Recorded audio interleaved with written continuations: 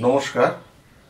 তোমরা যারা স্টুডেন্ট, যারা পিএসসি পরীক্ষা দিতে চলেছো পিএসসি জুনিয়র ইঞ্জিনিয়ার পরীক্ষা দিতে চলেছো, বা সিভিল ইঞ্জিনিয়ারিং রিলেটেড কোনো পরীক্ষা দিতে চলেছো, তাদের জন্য এই ভিডিওগুলো করা। এটার একমাত্র উদ্দেশ্য এটাই যে তোমরা এটাতে বিনামূল্যে তোমরা কিন্তু সমস্ত রকমের সুযোগ সুবিধা বা প্রিপারেশন রিলেটেড কথাবার্তা পাবে। এবার দেখো জাস্ট কিছুদিন হলো আমাদের পিএসসি নোটিফিকেশন হয়েছে এবং পিএসসির অ্যানাউন্সমেন্টও করে দিয়েছে। মানে পাবলিক সার্ভিস কমিশন এখন চারপাশে যা অবস্থা, যেখানে কোনো জায়গায় চাকরি বাকরি নেই, সেখানে কিন্তু পাবলিক সার্ভিস কমিশনের মাধ্যমে তোমাদের কিন্তু বেশ কিছু ইঞ্জিনিয়ার নেওয়া হবে। এবার সেখানে পাবলিক সার্ভিস কমিশনের মাধ্যমে যখন নেওয়া হবে আমরা সবসময় একটা ভাবনা চিন্তায় ভাবনা চিন্তা করি যে পাবলিক সার্ভিস কমিশন হবে, কত ছেলে পরীক্ষা দেবে, আমি কি পাবো? এই ভাবনাটাকে পাল্টাতে হবে। যার জন্য কিন্তু আমার এখানে আসা। ভাবনা পাল্টাতে হবে মানে কি? ধরো, বলবে, স্যার, কি অসুবিধা তো নেই, আমার তো এখানে স্যার, আমার প্রতি বছর পিএসসিতে হয়তো তিরিশ হাজার, চল্লিশ হাজার ছেলে পুলে পরীক্ষা দিচ্ছে, পঞ্চাশ হাজার ছেলে পরীক্ষা দিচ্ছে, আমি পাবো? আমার তো প্রিপারেশনই নেই। প্রথম কথা, এটা মাইন্ড সেট আপটা চেঞ্জ করো। তার কারণ হচ্ছে, আমি তোমাকে একটা পরিসংখ্যান দিচ্ছি। যদি ধরা যায় যে একশো জন ছেলে পরীক্ষা দিচ্ছে, তার মধ্যে ধরে রাখো তিরিশ জন ছেলে উইদাউট প্রিপারেশন দিচ্ছে। একদম কিচ্ছু প্রিপারেশন ছাড়া দিচ্ছে। তাহলে কতজন দাঁড়াল? সত্তর জন। তাহলে সত্তর জন ছেলেপুলে কিছু পড়াশোনা করে পরীক্ষা দিচ্ছে। তার মধ্যে দেখা যাবে যে অন্তত আরও কুড়ি পার্সেন্ট মানে পড়ছি এটাই তার কাছে একটা বিলাসিতা হ্যাঁ পড়ছি, আমি পড়া পড়া দেখাচ্ছি, সুতরাং তারাও পাবে না। দাঁড়াল কত? পঞ্চাশ শতাংশ। তাহলে ফিফটি পার্সেন্ট ছেলে পড়াশোনা করছে প্রপার গাইডলাইন মেনে পড়াশোনা করছে আর হু হু করে সারাদিন পড়ছে এই রকম ছেলের পরিমাণ কত? প্রপার গাইডলাইন মেনে যারা পড়বে না, তারা কিন্তু পাবে না। সেটার পরিমাণ কিন্তু প্রায় তিরিশ, পঁচিশ থেকে তিরিশ শতাংশ। তার মানে তোমার দাঁড়াল কত? তোমার দাঁড়াল যদি পঁচিশ থেকে পঁচিশ পার্সেন্টে ধরি, তাহলে টোয়েন্টি ফাইভ পার্সেন্ট ছেলে প্রপার গাইডলাইন মেনে পরীক্ষা দিচ্ছে বা পড়াশোনা করছে।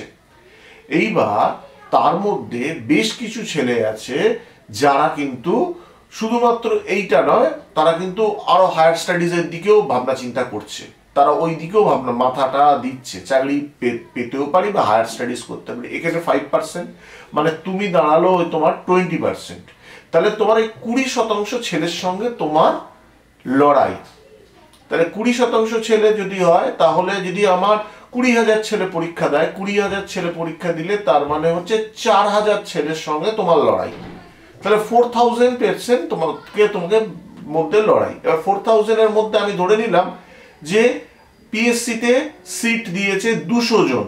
তাহলে ফোর থাউজেন্ডে যদি দুশো জন আমার পিএসসিতে সিট দেয়, তাহলে কিন্তু দেখা যাচ্ছে যে আমি কত? Four thousand divided by two hundred তাহলে আমার যেটা আসলো, সেই ছেলেগুলোকে আমায় বিট করতে হবে।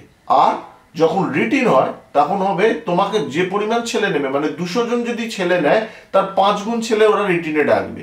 মানে রিটিনে কোয়ালিফাই করে ইন্টারভিউতে ডাকবে। মানে দুশো ইন্টু পাঁচ মানে হচ্ছে হাজার। হাজার জন ছেলেকে তোমায় ডাকবে।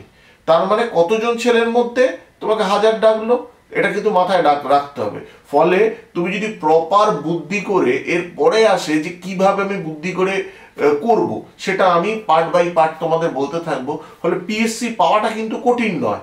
সুতরাং যেগুলো বলছি সেগুলো যদি মেনে চলো, তাহলে কিন্তু পিএসসি পাওয়াটা তোমাদের জন্য সুবিধা হবে। প্রথমেই পেতে গেলে যে কটা বই তোমাদের নিয়ে এ করতে হবে আমি বলে দিচ্ছি ইন জেনারেল সিভিল ইঞ্জিনিয়ারিং পারপাসে যে কটা কম্পিটিটিভ এক্সামিনেশন হয় তাদের জন্য, সবার প্রথম যে বইটা আমি দেখাচ্ছি, সেই বইটার নাম হচ্ছে গুপ্তা গুপ্তা। গুপ্তা গুপ্তা বইটা কিন্তু অবশ্যই কিনে নাও, যা আশা করি তোমাদের সবার কাছে আছে, যারা যারা করছ। এছাড়া কেএমডি এর পরীক্ষাতে খুব এই বইটা ভালো রোল প্লে করে। মূর্তি সুদ ভিএস মূর্তি আর আর সুদ, এটাও কিন্তু খুব ভালো বই। কিন্তু এটার একটাই সমস্যা, এর মধ্যে কিন্তু উত্তরে অনেক ভুল আছে। আমি সেগুলোকে ডিসকাস করব। আর ইন জেনারেল যারা জাস্ট শুরু করছ, তাদের জন্য কিন্তু খুরবি গুপ্তাও একটা এমসিকিউ এর ভালো বই। আমরা কিন্তু বেসিক্যালি পিএসসির জন্য আমরা এই বইটাকে বেসিক্যালি ফলো করব। ভালো বই এবং এটার প্রশ্নটা এখন আমরা যদি সলভ করতে পারি, আমরা বেটার করব। এইবার আমরা বইগুলো তো দেখিয়ে দিলাম, বইগুলো যে যার মতো কালেক্ট করে নাও। আর যাদের যাদের মনে করছ যে কোনো প্রবলেম হচ্ছে কমেন্ট সেকশনে আমায় কমেন্ট করতে পারবে। আমরা ধীরে ধীরে আমরা সেশনগুলোকে শুরু করব। এইখানে আমি তোমাকে বলে রাখছি যে, এই গুপ্তা গুপ্তাকে আমাদের পুরোপুরি সলভ করতে হবে। মূর্তি সুদের কিছু পোর্শন আমরা নেব খুরবি গুপ্তার কিছু পোর্শন আমরা নেব। হুম, নিয়ে আমরা কাজগুলো করব। আজকে আমরা, এটা হচ্ছে আমাদের প্রাইমারি কথাবার্তা। সুতরাং লেট স্টার্ট আমরা স্টার্ট করি। সবার প্রথমে ভাবতে হবে যে তুমি যদি সবার প্রথম যেটা করবে, দশ বছরের পিএসসি প্রশ্নগুলোকে কালেক্ট করে নাও। যে কটা জায়গায় দশ বছরের পিএসসি প্রশ্ন আছে কালেক্ট করে নাও। কালেক্ট করার পর, এইবার তোমরা যেটা করবে, সেগুলোকে আগে সলভ করতে আরম্ভ করো। এবার সাবজেক্ট ওয়াইজ দেখবে সাবজেক্টের মধ্যে অন্যতম একটা সাবজেক্ট হচ্ছে সার্ভেইং আমি সার্ভেইংটা আজকে স্টার্ট করব, এরপরে সেশন বাই সেশন আমি কিন্তু তোমাদের বলতে থাকব, তোমরা এই ভিডিওগুলো ফলো করবে, আশা করি তোমরা উপকার পাবে। একদম প্রথমেই দেখো, তোমাকে কিন্তু এখানে কেউ ডেফিনেশন লিখতে দেবে না, যে সার্ভে ডেফিনেশন লেখো। না, তোমাকে দেখতে হবে যে আমার যে যে প্রশ্ন আসছে, সেই সেই প্রশ্নগুলো আমি কীভাবে অ্যাটেন্ড করব। যাই হোক, আর বিশেষ ওই সব দিকে না গিয়ে মেন চ্যাপ্টারে আসি। একদম প্রথম যে জিনিসটা তোমাকে বলব, সেটা হচ্ছে যে একদম লিখে নাও। খাতার মধ্যে লিখে নাও। হ্যাঁ প্রথমে যেটা করব সেটা হচ্ছে অবজেক্ট অফ সার্ভে এটা বহু প্রশ্ন জায়গায় আছে what is the object of survey চারটে অপশান নিয়ে দিল চারটে অপশানকে একই রকম দেখতে। কিন্তু একদম লিখে নাও what is the object of survey the object of survey is prepare the map object of survey is prepare the map এবার আমরা জানি যে সার্ভে কিন্তু দুই ধরনের হয়। একটা হচ্ছে প্লেন সার্ভে একটা হচ্ছে জিওডেটিক সার্ভে তাহলে প্লেন সার্ভে কাকে আমরা বলব?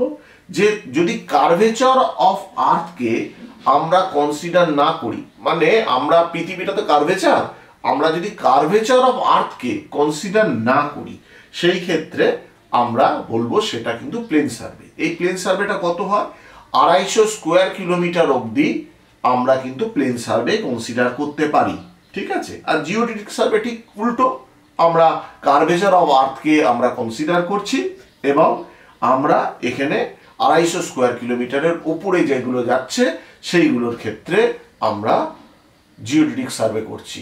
That's mean for two fifty square kilometre we are considering plane survey and for geodetic survey we are consider greater than two fifty square kilometre এইবার একটা জিনিস মাথায় রাখতে হবে যে কোনো একটা কার্ভেচার যখন আমি বললাম কার্ভেচার আর কার্ভেচারের নিচে কর্ড তাহলে এই কার্ভেচার আর কর্ডের মধ্যে একটা বেসিক বেসিক রিলেশন আছে। এবার এই বেসিক রিলেশনটা তোমাকে দেখবে বিভিন্ন সময় একটা কার্ভেচার অফ আর্থ দিয়ে দেবে, দিয়ে বলবে কট কত।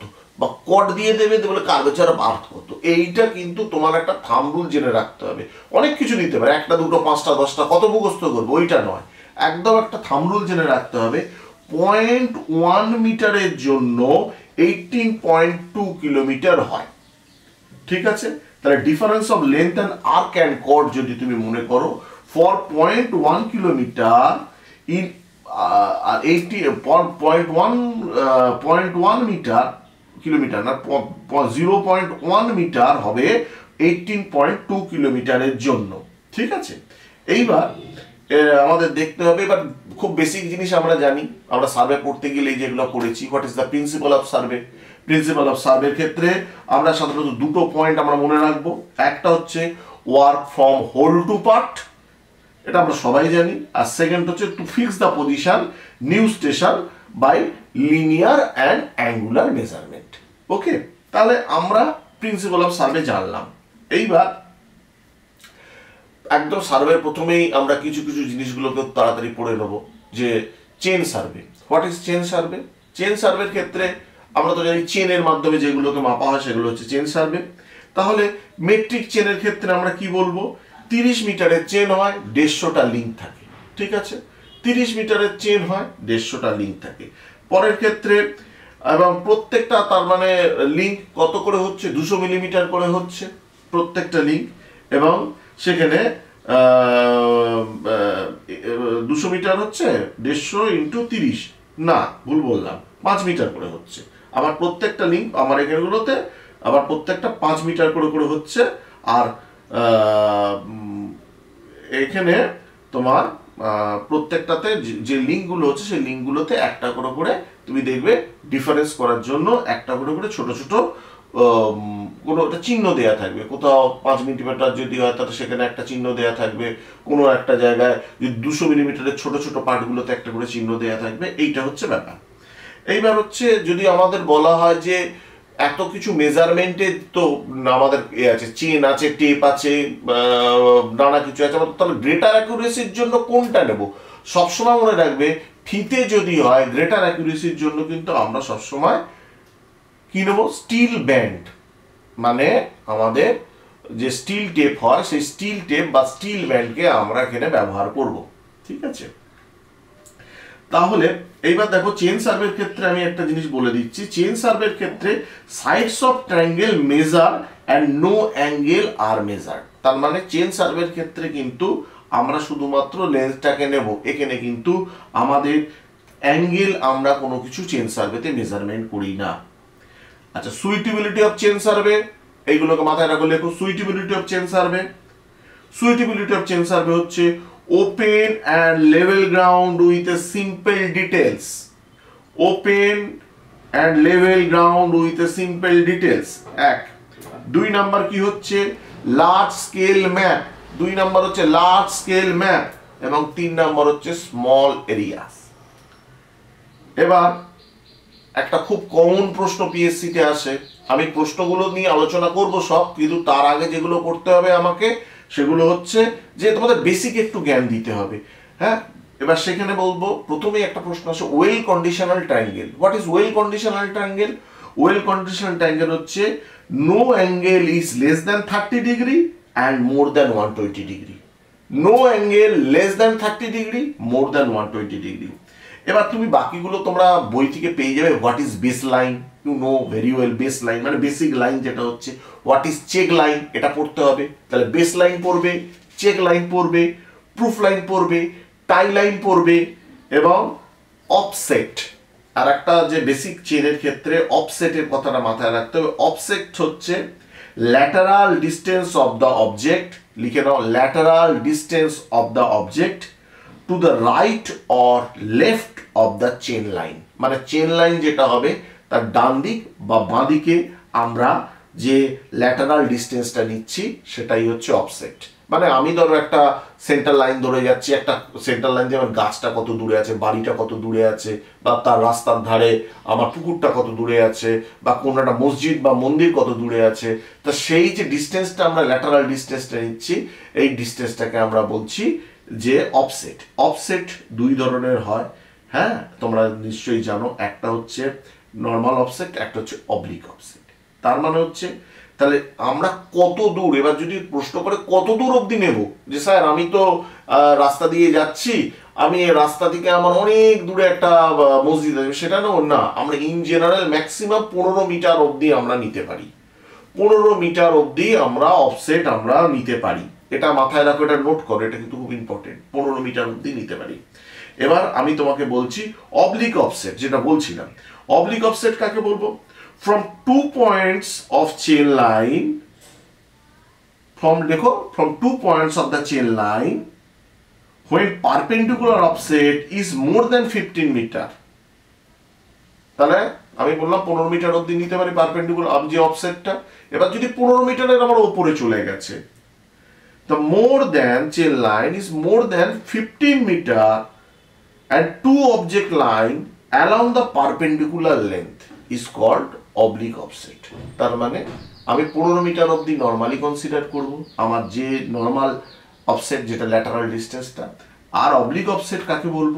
From two points of the chain line the perpendicular offset is more than fifteen metre is called oblique offset যাই হোক আমরা এরপরে যে যে জিনিসগুলো তোমাদের জাস্ট নিয়ে নিতে হবে জাস্ট ফিল্ড বুকের ফিল্ড বুকটা নেবে সাইজ অফ ফিল্ড বুক নেবে সাইজ অফ ফিল্ড বুক হচ্ছে ওয়ান টোয়েন্টি আর two hundred millimetre one twenty two two hundred millimetre two centre line twelve point five millimetre two fifty millimetre apart survey যে কোনো বই follow করো field বুকের size ঠিক আছে?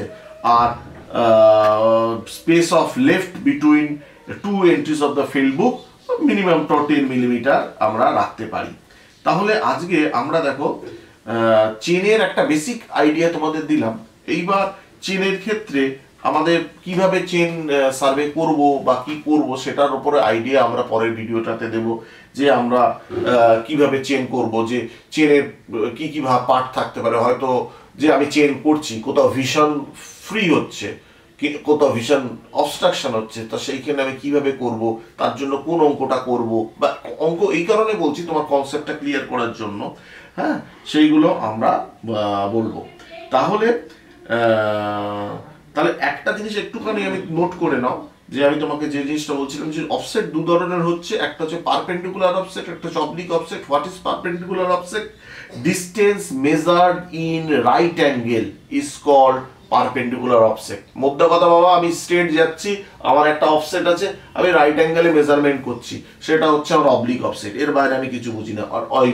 Sorry perpendicular offset আর oblique offset কি হচ্ছে? All offset which are not at right angle সেটা হচ্ছে আমার অবলিক অফসেট ঠিক আছে? আজকে অফসেট অবধি দিলাম। ভিডিওটা খুব বেশি দীর্ঘায়িত করতে পারব না। এর পরের পার্টে যখন আসব, আমরা কিছু কোশ্চেনারিজ নিয়ে ডিসকাশন করব এবং সার্ভে পার্টটা কমপ্লিট করব। তারপরে সার্ভের পার্টের কোশ্চেনগুলো করব। তোমরা একটা কাজ করবে in the mean time civil engineering এই বইটার মধ্যে সার্ভে পার্ট যেটা আছে আমাদের সার্ভে পার্ট এই যে সার্ভেইং সার্ভেইং এর সার্ভেইং দেখো চ্যাপ্টার টু সার্ভেইং এই সার্ভেইং এর বইটা কিন্তু তোমরা কোশ্চেনগুলো করে রাখবে, আমরা কিন্তু কোশ্চেনগুলো নিয়ে আলোচনা করব, আলোচনার মাধ্যমে আমরা পরে কিন্তু যাব। যাতে সার্ভেটা আমাদের কমপ্লিট হতে পারে। ঠিক আছে? আজকে এই অবধি। ঠিক আছে? সব ভালো থেকো। কোনো চিন্তা নেই। ফলো করো, হয়ে যাবে। এটা সম্পূর্ণভাবে তোমাদের জন্য, যারা যারা আসতে পারছ না আমার কাছে, তাদের জন্য এই ভিডিওগুলো করা। ঠিক আছে? ভালো থেকো।